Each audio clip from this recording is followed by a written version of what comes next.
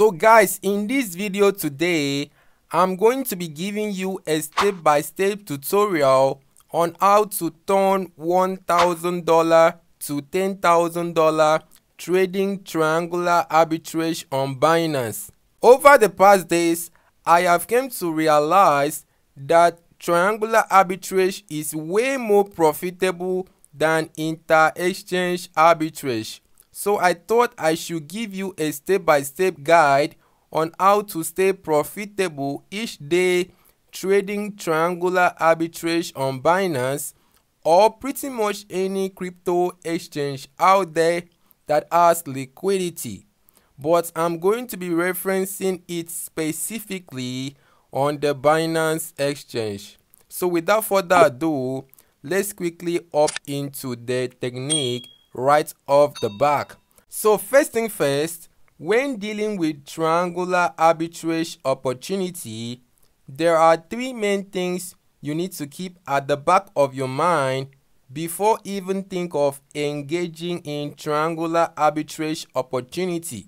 The first one is by spotting the opportunity and the second one is by making an in-depth calculation about the opportunity. And the third one, which is the final stage, is by executing the trade rapidly.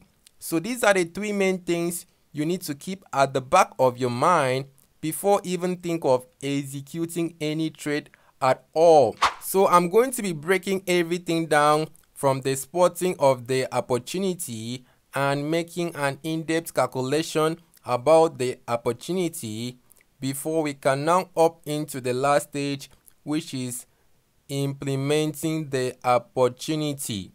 Each of these stage I'm going to be showing you has some key components in them so make sure you pay close attention so you could be able to understand and implement this technique appropriately for the full potential. So let's hop into the first stage right off the back. So the first stage is obviously spotting the triangular arbitrage opportunity. And we pretty much do use coinmarketcap.com to spot this opportunity. But recently, I came across this particular one that is called CoinGecko. It is the same thing as coinmarketcap.com, but I prefer using coinmarketcap.com as it is more convenient compared to CoinGecko. But if you intend to use CoinGecko, it is all subjected to you. You can as well look it up yourself and look out for opportunities over there. But this video is going to be specifically on coinmarketcap.com. There are a few things I do keep in mind when picking any coins for the triangular arbitrage opportunity. The first one is how liquidated that particular cryptocurrency is because the higher the liquidity, the higher the chances that you are going to be able to execute your trade rapidly without having to be holding the coin for way too long and be exposing yourself to the volatility of the market. So that's the more reason I'm going to be using the filter button right here to filter out coins that has higher liquidity so we can use it to implement in the triangular arbitrage opportunity. Real quick. So the moment you click on the filter button right here, you are going to off over to the add filter button right here and click on it. And it's going to bring up the more filter button like the more filter interface right here and you are going to first of all off over to the market cap and change the market cap to about 500 million to 10 billion because like I told you the higher the market cap the more liquidated that particular cryptocurrency is going to be. So we are going to be aiming for an higher market cap range. So our trade should be able to be triggered right off the back and thereafter after inputting that figure right there you click on apply filter right there and then you off over to the price section and change the price section to 1 to 100 dollar right there and then you click on apply filter one more time there and then you eventually click on the show results one more time there so these are the coins i pretty much do watch out for when doing triangular arbitrage opportunity there are 30 of them here which makes it more convenient if you intend to look it up one by one so for me i'm going to pick any random one here and let me show you how we can make an in-depth calculation about it before opting into the trade respectively. But if you intend to use any one of your choice, it is all subjected to you provided this strategy I'm going to be showing you in a second are met on the one you preferred. So I'm going to be choosing this particular one called ETC. I'm going to have to click on it real quick there when clicking on it, first thing first, you will pretty much have to head over to the market section so we can make comparison between where we can buy low and sell high rapidly. So as you can obviously see right here that the ETC BTC is trading at about 16.42 meanwhile on the ETC USDT pair it is trading at about 16.41 so how about you buy from the USDT pair and sell on to the BTC pair and retain the profit and capitalize on that. So I'm going to be hopping into Binance real quick and let me show you how this can be done with a real life example of it. So I'm going to have to open up Binance real quick there and search for the coin which is called ETC trading with the USDT real quick there. And first thing first, we will pretty much have to be adding on to the comparison market so we can make comparison between where we can buy low and sell high rapidly. So as you can obviously see right here that the ETC USDT is trading at about 16.37 meanwhile on the BNB it is trading at about 16.38 and even as the ETC ETH is trading at about 16.4 so we are going to be buying from one currency pair low and sell on to the other currency pair that is trading on an higher price this method is generally referred to what we call triangular arbitrage whereby you take an advantage of the difference in prices between different cryptocurrency pair of the same assets. So let's head over to the first currency pair which we are going to be buying from real quick.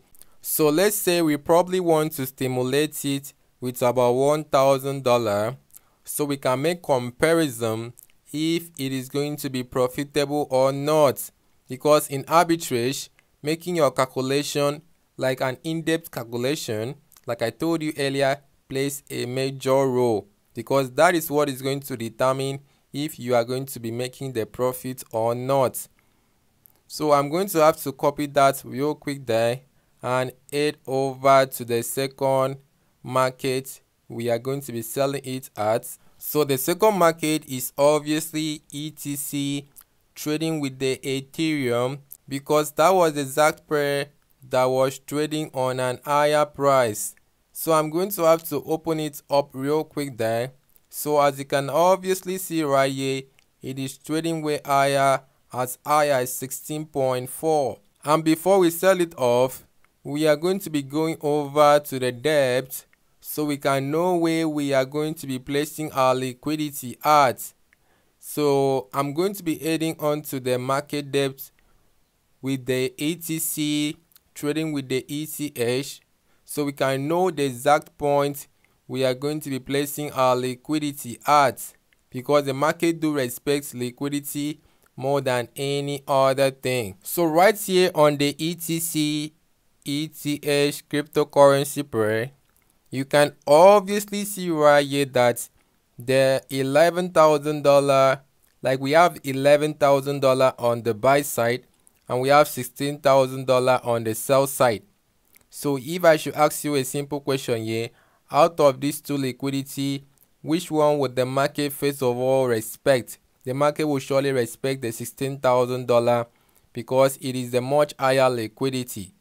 This plus 2% depth means that there are about these figures right here on this particular cryptocurrency pair queuing up on the order book saying that the market is going to go down by 2% for their order to get trigger. So they want to get into the coin, but they are placing their their buy order 2% below the current value of the asset. And you know, if you are placing your order below the current value of the asset, your order is going to remain stagnant because the market hasn't gone to that point yet for your order to be triggered and there is no liquidity yet. So this set of people are saying that the market is going to go down for their order to be triggered and they have made their research. That's the more reason they are placing their order to be, you know, to be dormant on the order book, which is like creating liquidity. And for the minus 2% depth, it is a vice versa of what I just said. These people are also queuing up on the order book saying that the market is going to go up by 2% for their ETC coin to be executed because they want to sell it on an higher price because they have done their research and they found out that the market is going to go up. That's the main reason they are placing their 2% above the current value of the assets and their order is going to remain dormant until the market eventually take out the liquidity. So the market do respect much higher liquidity like I said. So any other liquidity that is higher than each other on the depth, the market is going to first of all take out the much higher liquidity before it eventually goes in its initial direction. So keep in mind these numbers can change depending on how aggressive the traders is. So make sure you look it up regularly so you can get to know the exact figures at the exact points. So we are obviously going to be queuing up same year on the $16,000 because the market will surely takes out the $16,000 on the ETC ETH before it eventually goes in its initial direction. So we are going to be making a calculation about the 2% above the current value of the assets. So the current value is about 16.38. So 16.38, that will be 2% times 16.38. And that's going to give us like um, 0.32. And we are going to add that by 16.38, which is going to give us the 2% above the current value of the assets. But I do pretty much stick around way too near. I don't want to go that aggressive in case the market surely goes in its all-time high. So all you need now to do is to divide it with the current value of ETH. So the current value of ETH, like one ETH is approximately 16, like 1664. So you are going to be going over here and divide that by 1664. So that will give us a selling price of the value of ETH at 0.010. So we are going to be placing our sell order at 0.010 but I wouldn't advise you to go that deep. That's the more reason I stick around like way closer before the market you know reaches my target. There is no an objective figure for this it is all subjected to you. All you need now to do is to not be that aggressive. You can also stick around halfway through and then you are all good to be going. Don't really go that too aggressive. And after there, we are going to be pasting that amount of ETC we got initially. And then this amount of ETH we are going to be getting after the end of the day and that ETH is worth approximately how much let us look it up after the end of the day after the trade might have got executed you are going to be selling that ETH at the value of let us look it up real quick there 0.60 0 0.604 6040 so that was about one thousand five dollar so you are making five dollar in a single trade. And this can be done repeatedly over and over again. But in order for you to optimize your profit you will need to have a little sum of bnb on your sports wallet so the trading fees can be deducted from it and on top of that you'll be getting enough discount off your trading fees so you could be able to optimize your profit. So even if the trading fee is going to be deducted, it is not going to be as much as if at all you don't have BNB on your wallet. So make sure you have BNB on your sports wallet and then you off over to your profile icon at the top left corner there. You click on your profile icon and then you pretty much have to switch it up to the discount to get BNB on the regular interface where you click on use BNB to get discount and then you have to toggle on this icon to get the 25% off your trading fee. So make sure you do that to be able to accumulate the profit over time.